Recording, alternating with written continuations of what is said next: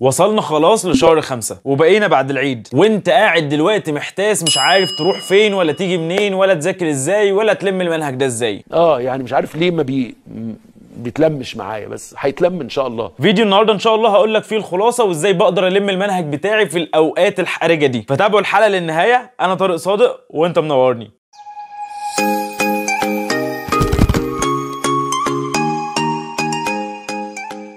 السلام عليكم ورحمة الله وبركاته. أهلا بيكم. فيديو جديد معاكم طارق صادق. أول حاجة لازم تعملها دلوقتي هو إنك تنزل تعمل like وتعمل comment لطيف زيك وتعمل لي subscribe عايزين نوصل ل 20000 متابع بقى في أسرع وقت. فما تبخلش عليا بضغطة الزرار البسيطة دي. وخلونا يلا ما نضيعش وقت ونتكلم عن الحاجات المهمة اللي لازم تعملها عشان تلحق تلم المنهج. قبل ما تلاقي نفسك قاعد جوه لجنة الامتحان بتمتحن وبتقول يا ريتني كنت بدأت من بدري.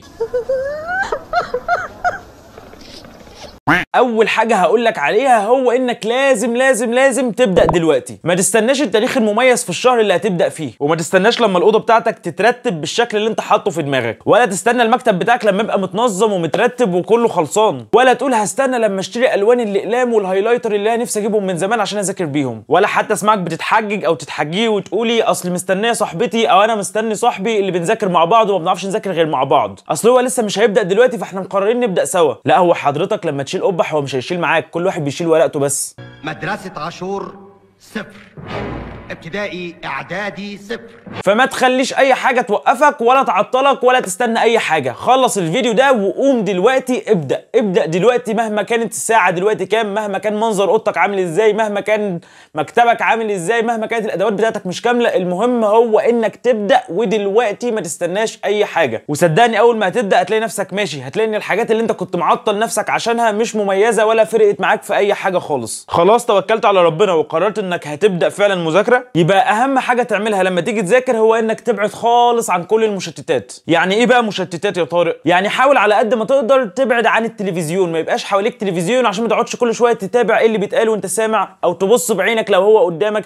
ما تشتتش نفسك. ابعد عن التلفزيون وابعد عن أي حاجة ممكن تلهيك. وحاول لو ينفع ما تذاكرش على السرير أو جنب السرير لأن ده ممكن يشدك ليه كده؟ إن هو ما تيجي تريح على السرير شوية ما ترجع شهرك شوية ما تنام شوية. فحاول تبعد عن السرير. أما لو كانت مذاكرتك ما ينفعش المكان بتاع المذاكرة غير جنب السرير أو على السرير فخلاص لا يكلف الله نفسا إلا وسعها. بس خلي بالك نفسك كده ما تقعدش تكلمك وما تريح شوية ما تنام شوية.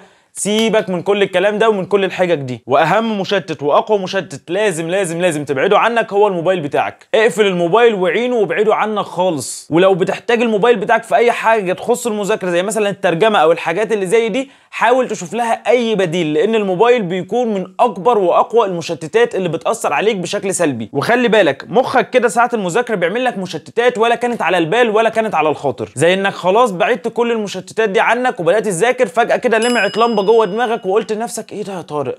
أنت بقالك سنتين ما كلمتش خالتك ما تقوم تكلم خالتك دلوقتي. فشوف يا أخي سبحان الله من أول السنة ما افتكرتش تصل رحمك وجاي تفتكر وأنت بتذاكر. فطول ما أنت بتذاكر هتلاقي مخك بيجيب لك أفكار زي دي اللي هو طارق أنت جعان ما تقوم تاكل طارق أنت ما كلمتش خالتك من 20 سنة طارق مامتك كانت قايله لك ترمي الزبالة وأنت فجأة كده حبيت إنك ترمي الزبالة ما تروح ترميها دلوقتي. فالحل السحري للمشكلة دي هو إنك تحط جنبك دايما كده ورقة وقلم مخصصين للمشتتات بس. اللي هو لو جه في دماغك فكرة أنت لازم تزور واحد قريبك النهارده ما تروحش دلوقتي تزوره وترجع تذاكر لأ اكتب في الورقة دي هزور قريبي بعد المذاكرة افتكرت إن أنت عندك مشوار مهم اكتب في الورقة هروح المشوار بعد المذاكرة وكمل مذاكرتك عادي فأنت أي فكرة بتشتتك بتكتبها في الورقة دي وبتقول لنفسك أنا كتبتها خلاص ركنتها على جنب كمل بقى مذاكرة وبعد المذاكرة إن شاء الله هنمسك الورقة دي نشوف الحاجات اللي كانت المفروض تتعمل وهنروح نعملها المهم ما تسمعش كلام دماغك وتقطع وقت المذاكرة لأن كل ما هتيجي تذاكر هتلاقي أفكار زي دي بتشدك كده إن هو أنت لازم تسيب المذاكرة دلوقتي العالم كله هيتوقف. والحياة هتنتهي لو أنت ما قمتش عملت الحاجة دي دلوقتي. النصيحة اللي بعد كده وهي نصيحة الأوقات الحرجة اللي هي الوقت اللي إحنا فيه دلوقتي اللي هو خلاص أقل من شهر وأنت داخل على الامتحانات ومفيش وقت إنك تتلاكع بقى وتمشي على مهلك. فتبتدي بقى تفكر هل هتلحق تحل بعد ما تذاكر ولا مش هتلحق ولا هتعمل إيه؟ فأفضل حل للأوقات الحرجة دي هو إنك تقدر توازي ما بين المذاكرة وما بين الحل. يعني أنت مثلا هتذاكر الجزء ده النهارده من المنهج بعد ما تخلصه حل عليه على قد ما تقدر بحيث إنك تكون موازي ما بين الاثنين ما بين المذاكرة وما بين الحل. وفي مشكلة بقى بنعملها لما بنيجي نحل أسئلة. هي إن الأسئلة دي ممكن تكون محلولة فأنت كل ما بتحل سؤال بتروح تشوف الإجابة صح ولا غلط. تحل سؤال ترجع تشوف السؤال ده صح ولا غلط. بلاش تعمل كده وتعامل مع الأسئلة دي كأنك جوه لجنة الامتحان وإن دي امتحانات فعلا وفي مراقب وإن أنت ما تقدرش تشوف الإجابة غير لما تخلص خالص وتبدأ تراجع. فتوكل على الله كده وحات الامتحان حله من أوله لآخره. واغلط يا سيدي براحتك وحل صح واللي يقف معاك سيبه. حل براحتك كأنك جوه لجنة الامتحان بالظبط. ولما تخلص بقى خالص ابقى هات الإجابات وابدأ صحح لنفسك وراجع لنفسك وشوف إيه اللي كان غلط عندك وابدأ راجعه.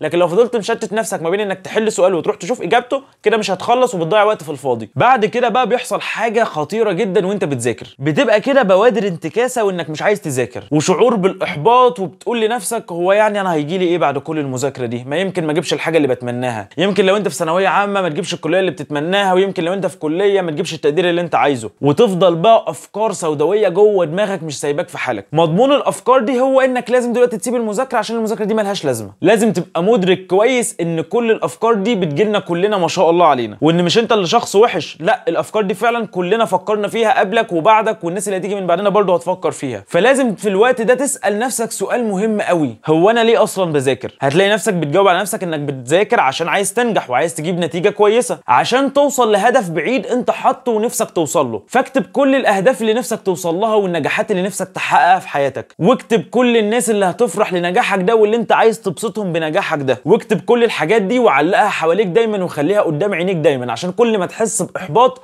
بص عليها وجدد طاقتك عشان تشجع نفسك إنك لازم تكمل وما تسمعش كلام الشيطان اللي بيخذلك وعايزك تبطل مذاكرة. بعد كل ده بقى انت ما شاء الله عليك بقيت بتذاكر وماشي حلو بس خليك فاكر ان انت في الأول والآخر بشر وليك طاقة وان طاقتك دي ما تتخيرش كتير عن بطارية الموبايل بتاعك. الموبايل بتاعك وهو مشحون و100% بتيجي تشتغل بيه بتلاقيه شغال كويس وانت معلي الإضاءة براحتك والدنيا شغالة فيه زي السكينة في الحلاوة زي ما بيقولوا. لكن مع الوقت بتبدأ البطارية تقل تقل تقل تقل مع الاستخدام لغاية ما في الآخر يتبقى كده شوية 5% كده ولا حاجة في بطارية الموبايل. تلاقي الموبايل بتاعك بدأ يقلل الإضاءة بتاعته بدأ يتعب كده والاستخدام بتاعه بدأ يبقى صعب. لأنه خلاص يا عيني هيفصل شحن. فأنت كذلك زي الموبايل بتاعك. لو فضلت تذاكر تذاكر تذاكر وتيجي على نفسك بطاريتك وطاقتك هتفضل تقل تقل تقل تقل لغاية ما خلاص مش هتبقى قادر تكمل. وممكن أصلا تكره المذاكرة واللي قالوا لك تذاكر. وتكرهني أنا شخصيا رغم إن أنا بحبك ومستنيك دلوقتي تنزل تعمل لي subscribe و like لو لسه ما عملتش. فالحل لكل ده بقى هو إنك تاخد لنفسك شوية وقت كده تريح فيه. واعملها كده قاعدة وأنت بتذاكر. أنت هتذاكر حوالي 45 أو 30 دقيقة متواصلين بشكل جدي وإن أنت بتذاكر فعلا ومش بتسيب نفسك ولما بتخلص ال 30 أو 45 دقيقة مذاكرة دول بتريح من 10 ل 15 دقيقة. لازم زي ما مهم إنك بتذاكر وبتشد حيلك هو إنك برضه تاخد لنفسك راحة وتريح جسمك عشان توفر البطارية بتاعتك. في ال 10 دقايق دول بقى أو الربع ساعة ما تجريش تمسك موبايل عشان الموبايل ممكن يشدك وبدل الربع ساعة ممكن تبقى ساعة وساعتين. ولا تروح تتفرج على التلفزيون لأنه كذلك ممكن يشدك لوقت طويل تضيعه كمان من وقتك. فالحل بقى في الوقت ده هو إنك تقوم تمارس 메르스로요도 تقوم حتى تتمشى تعمل لك حاجة خفيفة كده تاكلها. المهم تعمل أي حاجة بسيطة لمدة 10 ل 15 دقيقة وفي نفس الوقت ما تكونش هتشدك لوقت أطول من ده. ففي الوقت ده يا سيدي أنت حرفيا بتشحن نفسك زي بطارية الموبايل. بتشحن طاقتك من جديد إنك تخش تذاكر تاني وأنت جواك شغف وطاقة إنك تبدأ مذاكرة من الصفر تاني وتكمل عادي وتوصل لدرجات كويسة وفهم كويس. أحسن ما تفضل ساعتين وثلاث ساعات متواصلين بتذاكر بتذاكر بتذاكر وأنت حرفيا ما فهمتش فيهم غير أول ثلاث أرباع ساعة والباقي كان مجرد حشو وانت مش فاهم منه اي حاجة. واخر حاجة بقى معانا هكلمك عنها هو انك إزاي تذاكر أصلا وازاي تنظم وقتك وازاي تدير وقتك وكل الحاجات دي إحنا متكلمين عنها وباستفاضة في فيديوهات قديمة. هسيب لكم كل الفيديوهات دي تحت في ال description عشان تشوف انت محتاج منها إيه وتشوفه بدل ما اضيع لك وقتك. اتمنى تكون الحلقة فادتكم. ما تنساش ال like بتاعك عشان بيفرق جدا معايا وبيفرحني. وما تنساش ال comment اللطيف بتاعك عشان بقرأ كل التعليقات وبتبسطني كلامكم الحلو. وأكيد أكيد ما تنساش ال subscribe بتاعك عشان تساعدني أوصل ل 20000 متابع. وشارك الفيديو ده مع أصحابك لو حسيت إن هو مفيد وممكن يفيدهم. أتمنى تكونوا اتبسطتوا معايا. أشوفكم في فيديوهات تانية جاية كتير. كان معاكم طارق صادق. والسلام عليكم ورحمة الله وبركاته.